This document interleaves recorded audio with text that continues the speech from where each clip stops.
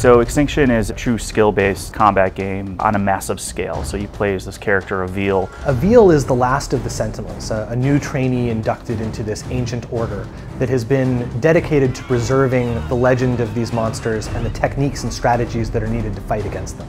Ravenii are these huge ogres, 150 foot tall monstrosities coming to destroy your friends, your family, your towns and Avil is the only person equipped to take him down. The Sentinel Order has really degraded over the years. There's not much of it left at this point, and at the time that the campaign begins, Avil is actually the only member of the Order that's still around. Over the course of this monster campaign, you get to learn more about the world, more about the people, why the Ravenii are doing what they're doing, and uh, save as much of humanity as you can in the process.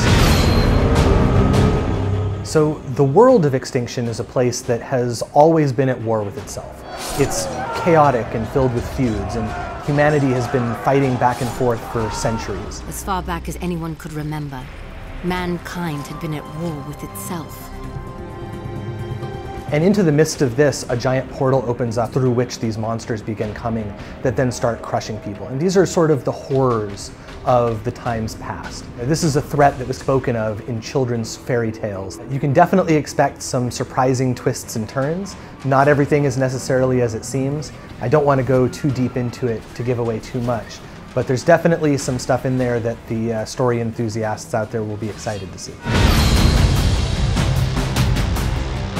Iron Galaxy, we're kind of known for fighting games, we're known for really tight action, and we want to bring that to something of this scale, which I don't think has really been done before. Combat and Extinction has uh, a lot of high-level skill execution mechanics, right? We have uh, a lot of timing-specific attacks, we have a lot of cancel windows. When you're going from one attack to another, that's basically what we consider an, an attack cancel. In a lot of action games, you would see one attack go into another attack, and it's a very basic formula.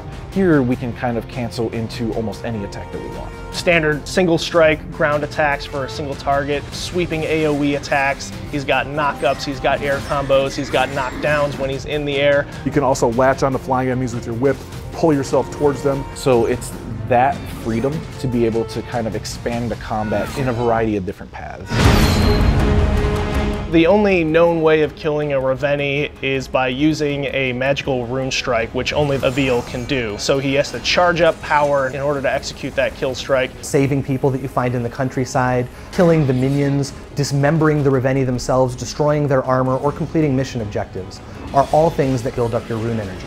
And once it's full, you can go in for that decapitation strike. So all told, there are thousands of possible combinations of Ravenii their attacks that they like to use, and the types of armor loadouts that they have. Uh, all of the options that Avil has when he's climbing trees and walls and traversing through cities, he has all those options when he's climbing the Ogre as well. And once you get to the top of the Ogre, it's you can just sit up there and wait for your perfect moment. You're under constant attack from flying minions who have projectile attacks they can spit at you.